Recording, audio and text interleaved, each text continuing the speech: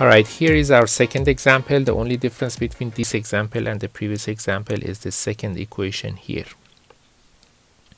Here we have three planes representing those three equations. Two planes are parallel to each other and the third one has intersection with the other two. The intersection of the third plane with the uh, other two parallel planes uh, are two parallel lines. Let me highlight those lines for you.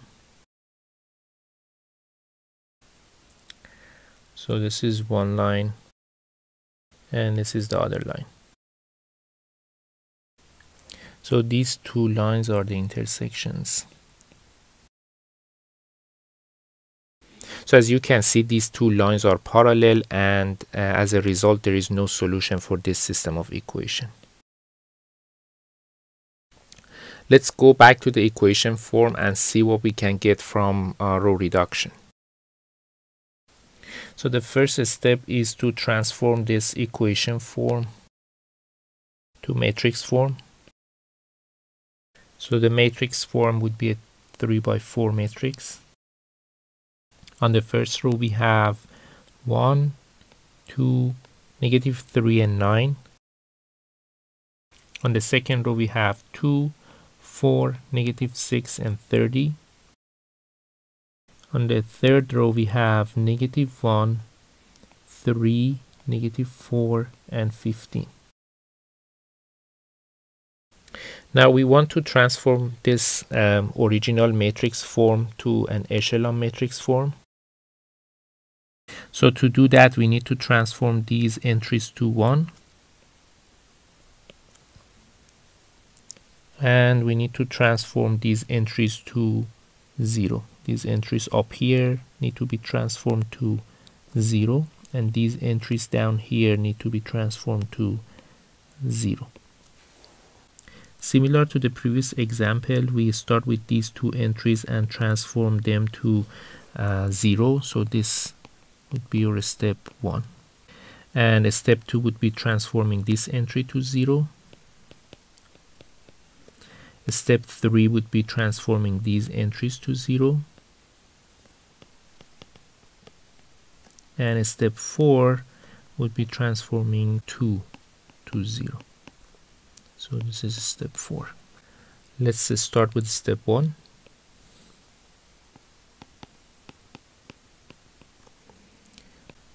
I'm going to copy the matrix here. So to transform this 2 to 0 we need to replace the second row with r 2 minus 2 r1 and to transform this negative 1 to 0 we need to replace the third row with r3 plus r1 so basically we're going to use the first row to do the transformation and this operation here is pivot operation. The first row remains unchanged. Let's go ahead and apply these operations so we have the first row unchanged.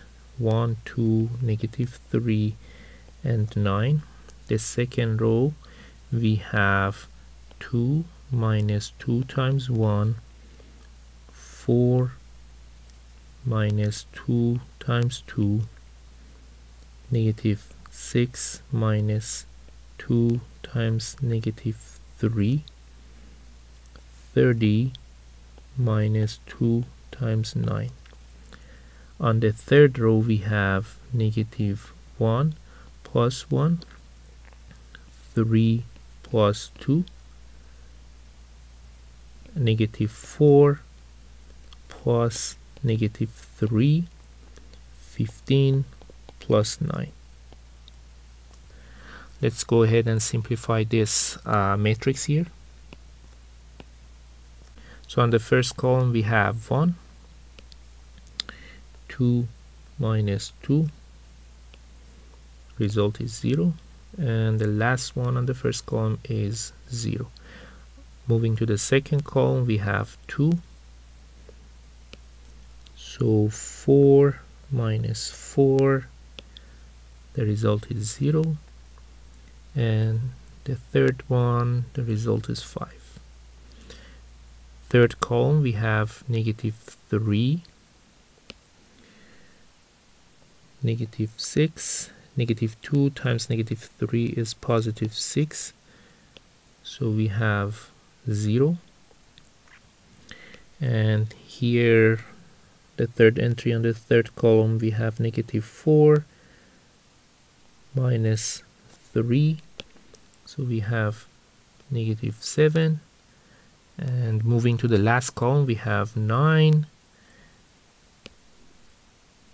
30 minus 18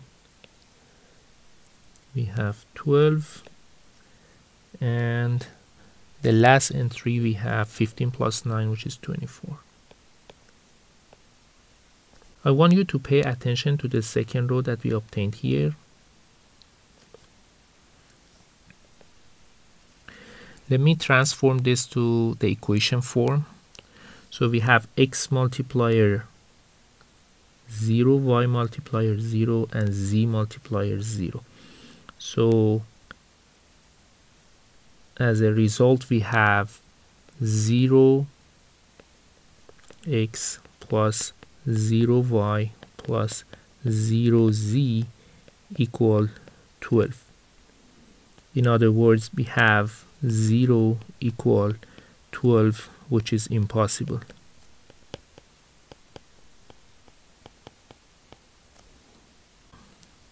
and this means that uh, there is no solution for this system of equations. So we don't need to continue further and implement the other steps. In fact, I didn't need to implement a step 1 from the beginning because if I go back to this original matrix form and compare the first row and second row, this is the first row representing the first equation and this is the second row representing the second equation. If I compare these two rows, I can see that the x, y, and z multipliers on the second row are multiple of x, y, and z multiplier uh, of the first row, except these two constant at the end. Whenever that's the case, there, there is no solution for the system of uh, equation so I recommend you before start implementing uh, basic row operation to the matrix form. Uh, inspect the uh, rows of the matrix. If you found out that one row is multiple of another row there is a chance that either there is no solution for that system of equation or there are infinite number of solutions. Here is our last example. The difference between this example and the previous example is this second equation here as I recommended before uh, start solving the equation uh, spend some time inspecting the equation see if one equation is multiple of another equation. In fact here if I divide both sides of the second equation by 2 I would get the same as what I have on line 1 here I have three planes representing those equations as you can see here uh, two of the planes are overlaid representing the first and second equation and the intersection of these three planes is a line. Let me uh, highlight that line for you. So this line here is the intersection of these three planes. And as a result the system of equation has infinite number of solutions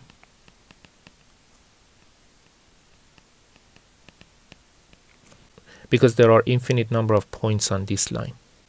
Let's go back to the equation. So uh, now that I know the answer, I'm going to start uh, solving the equation using row reduction to see what I get uh, with that method. So I start by changing the equation form to matrix form. So the matrix would be a 3 by 4 matrix. So I have 1, 2, negative 1 on the first column.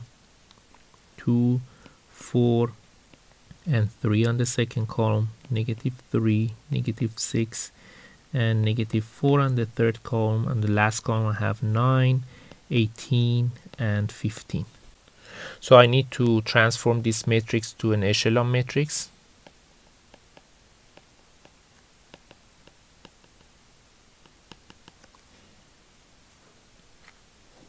So I need to transform these entries to 1. And these entries here and here need to be transformed to 0. So similar to the previous examples, uh, first step is to transform these entries to 0. So this is step 1. And then transforming this 3 to 0 is step 2 then these two entries here need to be transformed to 0 step 3 and finally this uh, entry 2 need to be transformed to 0 so this is step 4 so step 1 let me copy the matrix here so I need to transform this 2 to 0 and to do that I replace the second row with R2 minus 2 times R1 and I also need to transform this negative 1 to 0 and it can be done by replacing the third row by R3 plus R1 and the first row remains unchanged Go ahead and implement these operations.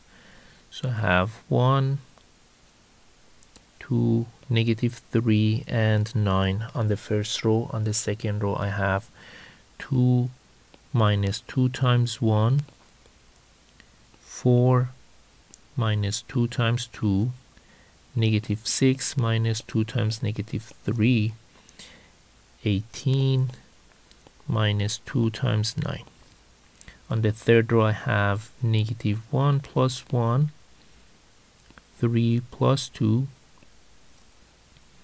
negative 4 plus negative 3 15 plus 9 and if I simplify this matrix I will get 1 2 negative 3 and 9 on the first row.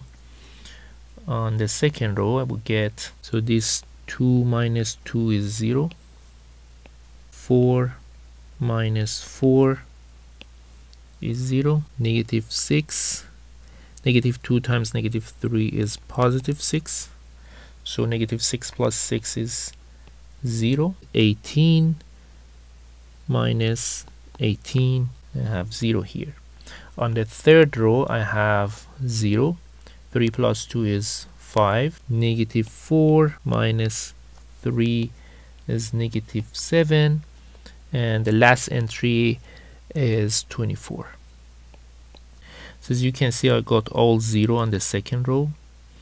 And that means that if I transform it to the equation form I will get 0 times x plus 0 times y plus 0 times z equals 0. In other words, I have 0 equals 0. And this is a trivial answer. And that means that I have infinite solutions. I hope solving these three examples uh, helped you to better understand the row reduction method and uh, how you can use it to solve system of equations, especially system of three linear equations and two linear equations. If you have any questions, leave it in the comment section below this video and I will get back to you as soon as I can. If this video helped you in any way, please hit the like button and subscribe if you enjoy our content and would like to see more.